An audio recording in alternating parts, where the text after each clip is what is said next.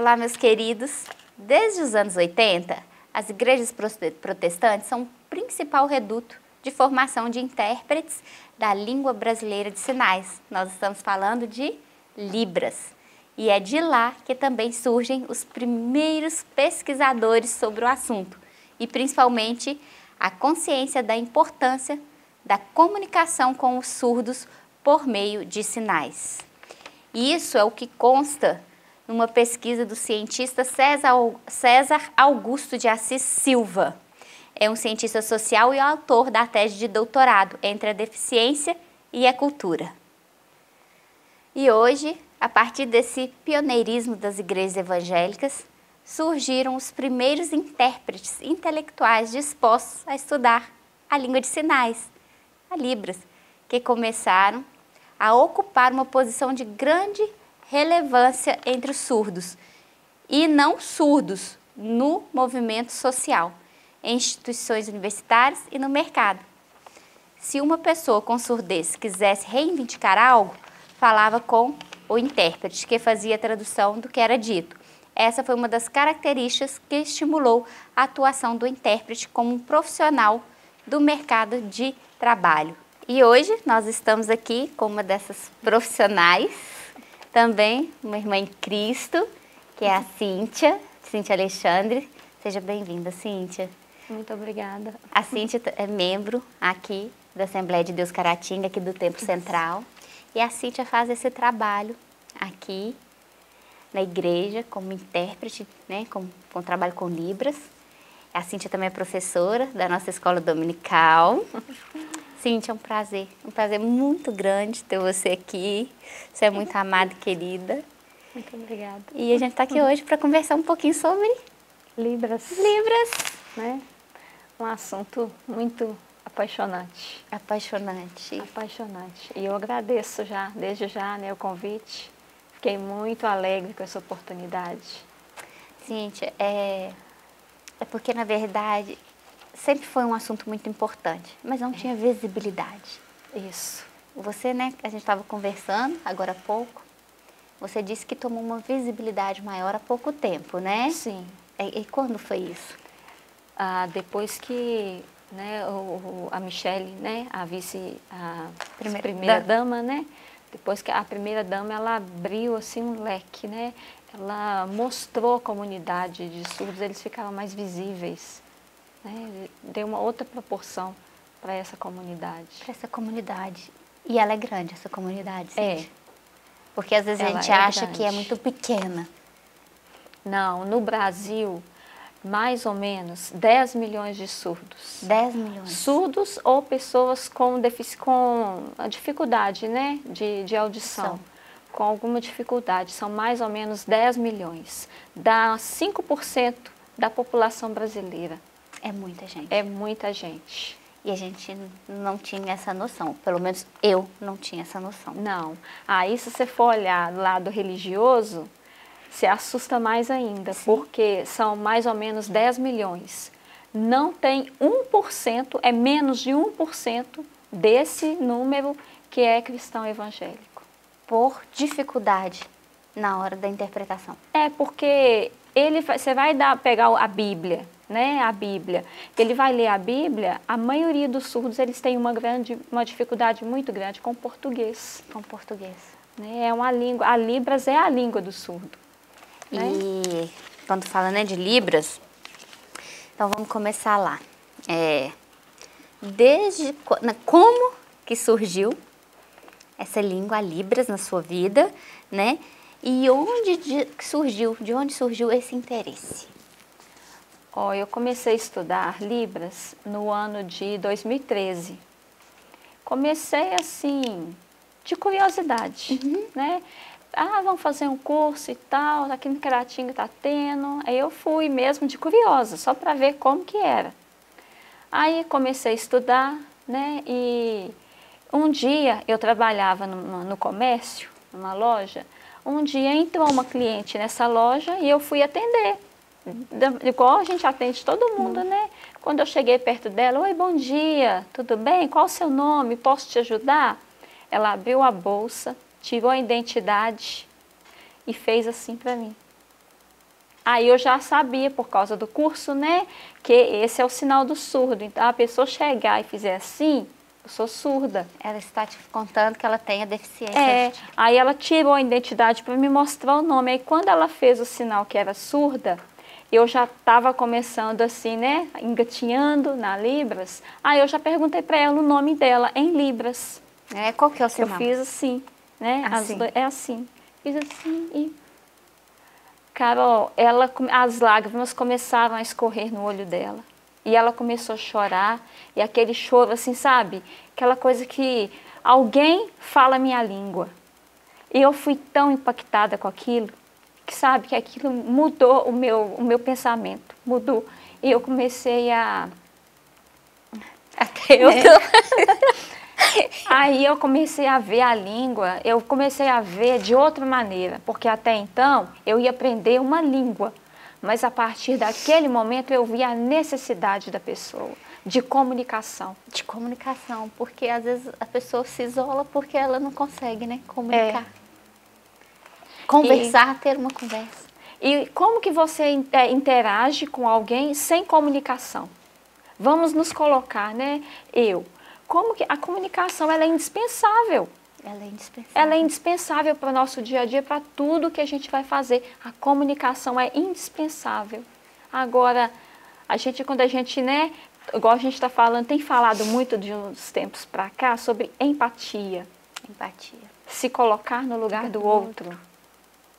Né? Aí eu penso na pessoa surda, eu vou me colocar no lugar daquela pessoa. Tudo muda. Tudo muda. E são a visão muda. E hoje existem poucos profissionais ou tem formado a cada dia mais? Agora, graças a Deus, o número está crescendo. Está crescendo. Né? Mas pela demanda que tem, precisa de muito mais. Precisa de muito de mais. De muito mais. Principalmente nas igrejas. E saiu lá das igrejas, né? Isso. Saiu das igrejas. E você me disse também é bom você falar para o pessoal que todos que você conhece começaram aonde? Sim. Começou na igreja. Na igreja. Começou na igreja. E hoje em dia muitos começaram lá, mas eu não sei por que motivo, né? Não estão atuando onde começaram a aprender. Não estão? Não. Foram para outros ramos, outros meios e, infelizmente, é uma formação, é uma, uma faculdade, ou é um curso, é uma formação, uma graduação? Olha, há uns anos atrás, fazia um curso, né, um curso básico, aí daquele curso ali a gente fazia uma, tinha uma, uma prova, igual aqui no estado de Minas, é em Belo Horizonte, é o CAS. Uhum. E aí você vai lá, faz uma prova, os surdos vão te, vão te avaliar, ver se você está habilitado, se você tiver um habilitado, eles te dão um documento comprovando. Né? Isso há uns anos atrás. E tinha o ProLibras também. Né? A pessoa fazia o ProLibras para ver essa, essa, esse ensino mesmo, como que estava né? o aprendizado da pessoa. Hoje em dia já tem as faculdades. De letras libras, né? Tem a, tanto a licenciatura quanto o bacharelado. Muito bom, né? É, é muito, muito bom. bom ouvir isso. E... Graças a Deus. Vamos lá, né? Vamos entrar um pouquinho na igreja. Qual a importância do surdo ter esse intérprete, né? De Libras disponível, né? Para suas atividades diárias e, inclusive, na igreja. É, igual nós já falamos anteriormente, né? A comunicação, né?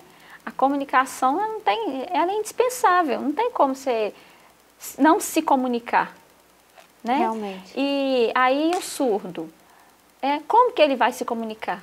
Através da Libras, através das mãos. É uma língua visual, né? Porque está aqui, ó. Ele está vendo. Né? Ele está vendo. Então ele vai se comunicar através das mãos. Aí, como que um surdo vai no médico consultar? Né? Se não tiver alguém da família que interprete. que interprete. E outra, a maioria dos surdos que eu conheço, eu vou falar os que eu conheço, uma grande parte da família não sabe comunicar com ele na língua dele, não. na Libras. A maioria dos familiares não conhecem. Não conhece. Aí eles dependem de quê? Depende de um intérprete estar tá indo junto. Então é uma consulta, é um problema no fórum, Se o surdo for chamado no fórum, tiver que, é, for, ele, se ele for uma testemunha, né? Ao intérprete lá. E, e nas igrejas, você até começou a falar um pouquinho é. comigo, né? Qual que é a dificuldade? Porque você fala assim, ele pode ler, mas como que ele vai aprender, né? O evangelho vai ouvir o culto. Ele pode ler ali a palavra, mas tem uma certa dificuldade aí. Tem. É, Romanos, né, no capítulo 10 e no versículo 14, tem uma, uma partezinha lá, como ouvirão se não há quem pregue. Aí a gente adaptando esse texto para Libras, como verão se não há quem sinalize? Né? E precisa, é um, é um, um povo carente, é um povo carente do Evangelho. Os surdos eles fazem parte da, de uma população não alcançada pelo Evangelho ainda, ainda, mas a gente crê que em nome de Jesus está mudando e vai mudar, né? Porque Deus tem despertado os surdos mesmo. Porque quem melhor do que um surdo para ganhar um surdo?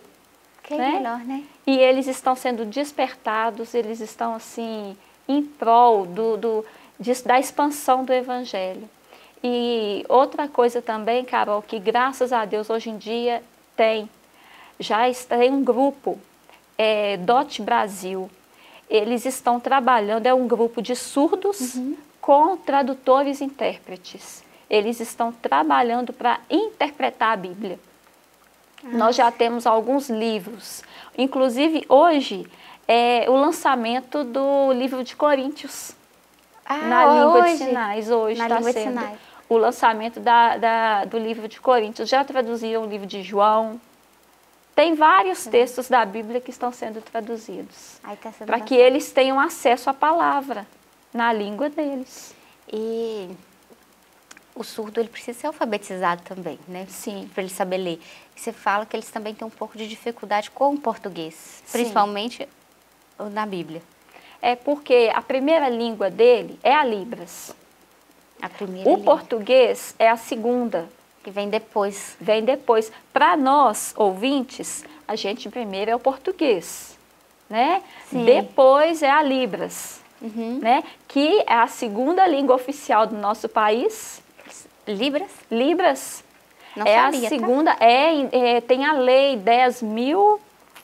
É, 10.436, ela foi sancionada em 24 de abril de 2002, é a, é, trazendo a língua, a Libras como a, língua, a segunda língua oficial do Brasil.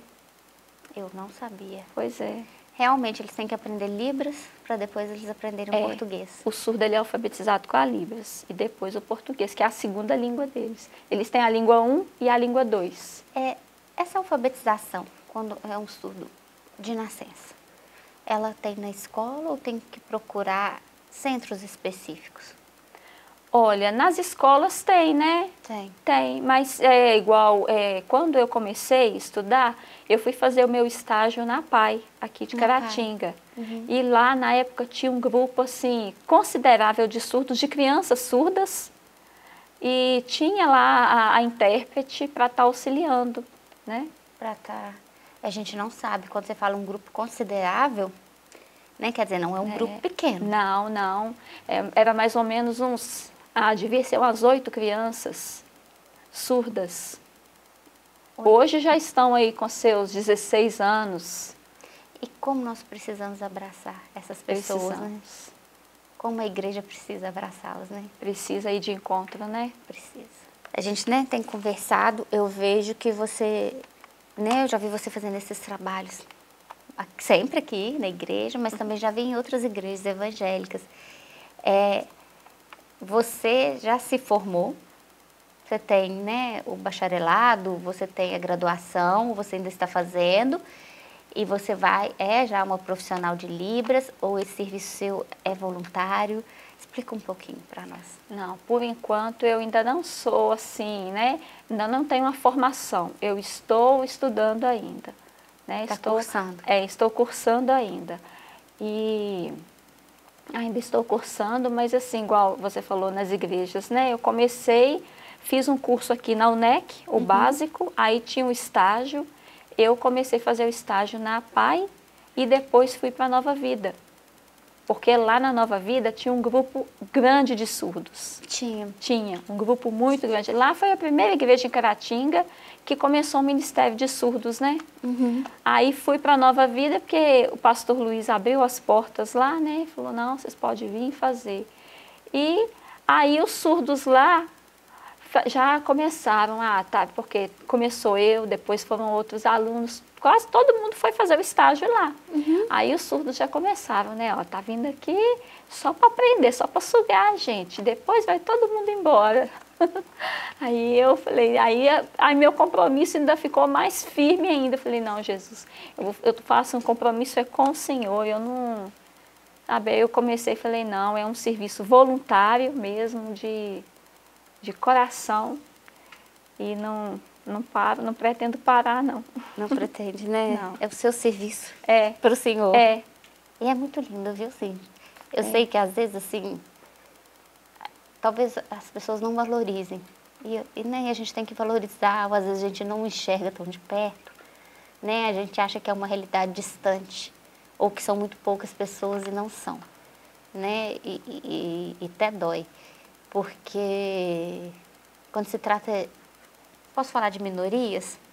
A gente acha que é uma realidade muito distante, e não é. Eu sei que o senhor que tem que reconhecer, né? Mas a gente também tem, né? Nós como, principalmente como irmãos, como cristãos, como cidadãos, reconhecer o quão importante é, né? E ju- principalmente para eles, né? É, eu fico só pensando agora no caso que você me contou quando você trabalhava nessa loja. é. Toda vez que eu encontro com ela, que eu vou na casa dela, a, a lembrança que eu tenho é ela entrando na loja e, e eu perguntando para ela o nome dela e ela chorando. Eu falo, ó, você é, a- é a você é a responsável por eu estar aqui, ó. Realmente. E eles têm amor, Carol, em ensinar. Eles têm uma. Quando, quando eles veem, eles têm um- uma vontade, assim, sabe? De espalhar a- a- aquela língua, sabe? Eles, assim. Você- só de você chegar, mesmo que você não sabe, ah, mas eu não sei falar nada, faz um oi. Faz, oi. Oi. Aí ele já, o olhinho deles já brilham. É uma coisa assim, é só você vivenciando que você vai experimentar, mesmo que você vai ver, nossa, não é que é verdade? Gente, nós vamos voltar a falar. Nós vamos só para um breve intervalo e já já nós estamos de volta.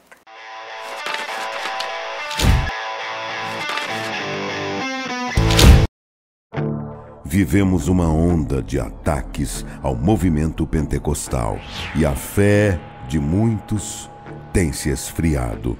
É chegada a hora de clamarmos por um avivamento para nosso tempo. Participe deste movimento. A promessa é para vós e vossos filhos. Uma campanha nacional pela busca do batismo com o Espírito Santo e dos dons espirituais. Nossos objetivos: até o dia 18 de junho, 110 mil crentes batizados com o Espírito Santo e 110 mil crentes batizados nas águas. Programa de leitura de toda a Bíblia até o final da campanha. No dia 18 de junho, uma grande vigília nacional de clamor. Manda, Senhor, um avivamento. E no dia 20 de junho, culto de celebração dos 110 anos das Assembleias de Deus no Brasil. Envolva-se neste mover de Deus. É para vós e vossos filhos. Uma realização CGADB e CPAD. Uma verdadeira história de fé, renúncia, desafios e conquistas. Você irá se emocionar e extrair lições extraordinárias da biografia de um dos mais expressivos líderes do movimento pentecostal no estado de Minas Gerais. Recomendada por influentes líderes cristãos. Adquira agora mesmo Ari Coelho, um legado de fé e descubra detalhes de uma história de vida que pode transformar a sua. Um produto com a qualidade CPAD.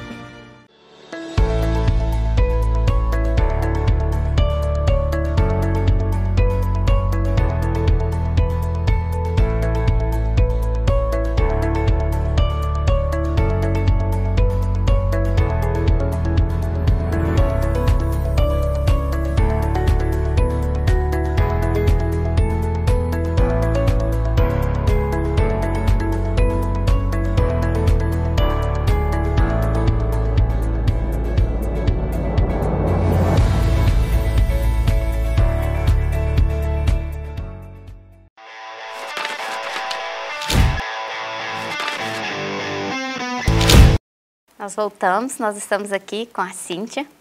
Ela é uma profissional de Libras e nós estamos falando um pouquinho sobre esse assunto. Cíntia, né? Depois eu vou pedir para você ensinar algumas coisas para nós, mas, né? Eu quero ter uma última pergunta. O que você, né? Como alguém mais ciente da necessidade dos surdos, que você tem essa convivência diária, acha que a igreja deveria fazer ou saber para abraçá-los melhor? É, a igreja precisa saber para fazer. Não é? Saber para fazer. É, primeiro vem o conhecimento. Aí depois eu vou colocar em prática aquilo que eu aprendi. Né? É, é, é igual a, a, palavra de Deus, né? A gente estuda, estuda a palavra de Deus, aprende, mas se a gente não colocar em prática, como que faz? Não é? E primeiro eu vou aprender, vou procurar aprender, vou procurar ter conhecimento de que é, a necessidade dos surdos. Mais intérpretes? É, é, é, procurar conhecer os intérpretes, saber interagir com essa comunidade. Para eles estarem também ajudando, né? porque, por exemplo, a igreja aqui é grande. É. Então, nesse caso, necessitaria de mais de um intérprete para atender certeza. mais os surdos. Com certeza. O ideal, Carol, é o mínimo dois intérpretes em cada culto. Em cada culto. Porque se um faz o início do culto e o período de louvor, teria que ter um exclusivo para a palavra. Porque é cansativo. cansativo. É, muito cansativo. Tem dia que a gente pega o culto do início ao fim, a gente chega em casa, só Deus sabe como. A dor nessa região do braço, do ombro, a perna, porque a gente fica em todo. pé, né? Porque você vai interpretar, é, é igual, eu estou começando, né? Tô, eu, eu me sinto assim, igual eu falei, comecei a estudar em 2013, mas é um constante, cada dia você vai aprendendo coisas novas, né? Tem, os sinais mudam muito, sinais. Mudam, sim. Porque está assim, ainda está em, em, em, etapas, né? Principalmente é, no, no, no ponto religioso. Igual se tratando da Bíblia, igual alguns livros da Bíblia, há um tempo, não tinha um sinal específico. Uhum. Igual os livros de Isaías, Jeremias, não tinham sinais específicos. Daniel, aí a gente fazia o Daniel, eu fazia o D e o N. Uhum. Agora não, agora o Daniel já tem um sinal. Os surdos já estão criando os sinais. Né? Então, é, a gente tem que estar tá em constante aprendizado, é todo dia. Aí a igreja precisa disso, precisa estar tá inteirada, né? procurando esse aprendizado, procurando conhecer e praticar, é, ir atrás desse povo, é, sabe, conhecer as necessidades deles, abraçar eles, sabe, e, e mostrar para eles que eles têm potencial. Que eles sabe? também são o muito surdo, amados. E... É, eles são muito amados e eles não são assim, ah, tadinho, ele é surdo. Não, ele não é um coitado porque ele é surdo, ele pode fazer tudo. Ele ser surdo não impede ele de fazer nada, nada. nada sabe? Nós temos surdos aqui em Caratinga, é, inclusive o presidente da associação, né, o atual presidente, ele é um mecânico excelente. Excelente. Um mecânico de moto. E como chama essa associação? É a, é a ASCTGA, né? É a Associação de Surdos de Caratinga. A esposa dele trabalha na, na Caixa Econômica Federal. Fez o concurso, passou assim, em ótimas qualificações. Aí você vai, nossa, mas ela é surda. Não, mas ela é capaz. Ela é, ela é inteligente. Capaz. Todos eles são, né? E a gente precisa, assim, valorizar essa comunidade, sabe? Eu acho que é porque, é voltar os olhos mesmo. É, porque muitos, assim, veem eles nessa visão de coitadinho. E não é, eles não são assim. Eles são, são capazes, sabe? A gente tem que motivá-los sabe? Não, vamos embora, vamos, vamos aqui, nós estamos juntos, né? E mostra pra gente alguns sinais. Tipo, mostra. você mostrou qual o seu, né, como você Nome. chama? Nome. É, vamos lá, vamos falar as frases básico, o básico né? que a gente. O bom básico. dia, boa tarde, boa noite. É. Bom dia, você põe a mão no queixo, abre assim. Bom dia, você faz o D. Faz o D. Dia. Dia. Ah, então, bom, bom dia. dia o oi. Você faz o O e o I junto. Ah, Aí você faz, tá. ó, oi. Oi. Tem que ter um movimento É. aqui. Oi. Bom dia. Ah, e o boa tarde? Aí, boa tarde. Tarde. A mão para baixo. E o boa noite? Boa noite. Noite. Passa a mão aqui. Passa a mão aqui. E Deus te abençoe. Deus te abençoe. Aí a gente vem com D, posiciona aqui do lado. Deus te abençoe. Abençoe. Ah, Isso. você abre o ar que você É, você faz o A e abre ele, né? Você abençoa mesmo, Deus né? Você, né? abençoe. É o sinal de abençoar. E eu, eu, né, e Obrigado, obrigado. Obrigado. As duas uma mão na testa, uma no queixo. Aí você, obrigado. É tipo aquele sinal É. de antigo, né? Aquele- Isso, isso. Obrigado. E também, é, né, você é importante, eu gosto de você, amigo, Amigo, amigo. amigo. E amor? Amor, a mão, você vem com a mão aqui e faz aqui, ó. Vem fechando ela no Ah, peito. no coração, né? É. Tem que ser do lado... Não, tanto faz. Só fecha ela no Amor. peito. É. E Deus, a palavra Deus? Deus é o D, né? Se eu Aí fizer só só D, já é Deus. É, Deus. Jesus, é diferente? Jesus, aí é o sinal dos cravos, né? Você pega um dedo aqui e outro aqui. São os cravos nas mãos. São os cravos. E o Espírito Santo? O Espírito Santo. Ah, muito interessante. é, e cada sinal, Carol, tem um significado. É. Igual, há poucos dias agora, eu fui. A gente, assim, aprende os sinais, mas a história por trás dos sinais, ela é fascinante. E poucos dias eu parei para ver a história que vem. Por que, que, por que, que tem esse sinal? Aí eu fui ver a história daquele sinal. Qual e sinal que era? Coríntios. Eu Coríntios. fiquei assim, Ah. ó, porque a gente vai estudar a Bíblia, a gente vai ver que Corinto era uma igreja o quê? Problemática. Não era? A igreja dos problemas. Aí, na Libras, o sinal de problema é esse aqui, ó. Eu Ah. vou passando o dedo aqui, problema. Uhum. A igreja de Corinto, você faz o C e passa aqui, ó. E se eu quero falar, né, carta, primeira carta, né, aos Coríntios. Aí você faz aqui, ó, primeira, Primeira, né? Primeira Coríntios. Coríntios. Aí a gente vê a história do sinal, ajuda a gente a memorizar. A gente não esquece, porque é muita coisa, é muito sinal. É muito sinal. É e você falou que alguns até coisa. mudam, né? Outros surgem devido à necessidade. É. Realmente é muita coisa. É muita coisa. É por isso que a gente tem que estar assim, praticando todo dia. E atualizando, não pode, né? Atualizando, é, não pode parar, porque muitos falam igual, né? É, ah, eu sou fluente, ah, eu sou fluente. Ah, eu não, eu não gosto muito dessa palavra, sabe? Ah, você é fluente? Ah, não, eu estou aprendendo. Cada dia eu estou aprendendo um pouquinho, sabe? Fala, ah, tem um curso, tem um curso de Libras e tal e tal. Eu vou lá, vejo, me interessa, ó, vou fazer esse. Porque É muita coisa. Tem os números. tem, tem os números, tem o alfabeto. Uma curiosidade. Lógico que cada língua, né? Os sinais são diferentes. Ou tem sinais universais? Não, não. A Libras, igual Libras. Língua brasileira de Os sinais. É, lá fala, né? Olha que Né? língua É brasileira. a língua brasileira de sinais. Nos Estados Unidos é a ASL. Né? É totalmente diferente. Diferente. Se você vê um surdo dos Estados Unidos conversando, você não vai assimilar muito. Você vai, se ele fizer algum sinal que você conhece, às vezes você vai, vai entender assim. Às vezes tem algum sinal que é universal. Não tem, né? Não, não, tem. É igual. É, Nem o de pra falar que é surdo. Ah, ô Carol, assim, com outro, na, na, é, a língua, assim, em outros países eu não tenho muito, Muito- muito conhecimento, sabe? Mas é igual no Brasil, o regionalismo. Uhum. A gente conhece mandioca, Tem lugares que é aipim, tem macaxeira, não é? A Libras é a mesma coisa, igual pai. O pai aqui, a gente faz aqui que é homem, né?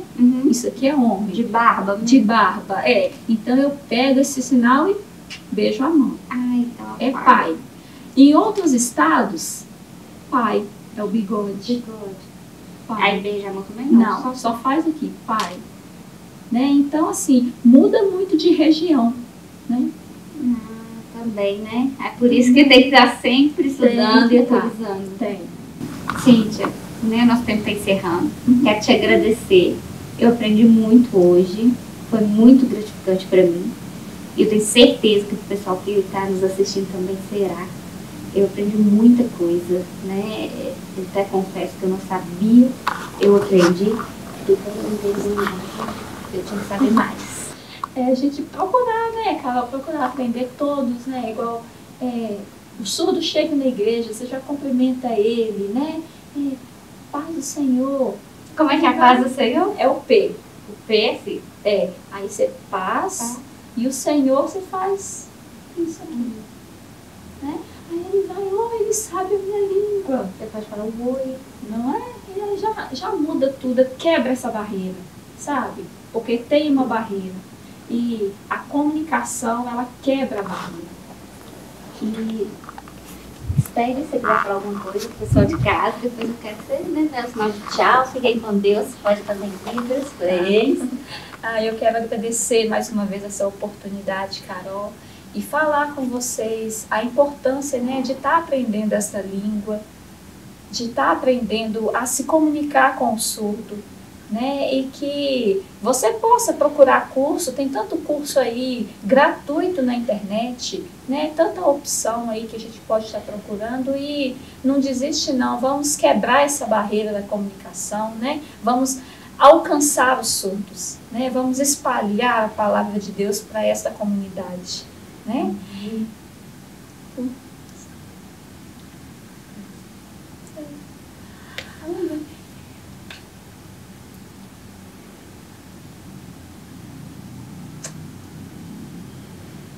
Traduz para nós. Sim. Eu falei que Deus abençoe vocês, que é uma alegria, né? A gente poder espalhar a Libras, né? Compartilhar essa língua. É muito bom. Que Deus abençoe. Até a próxima edição do Viva Voz.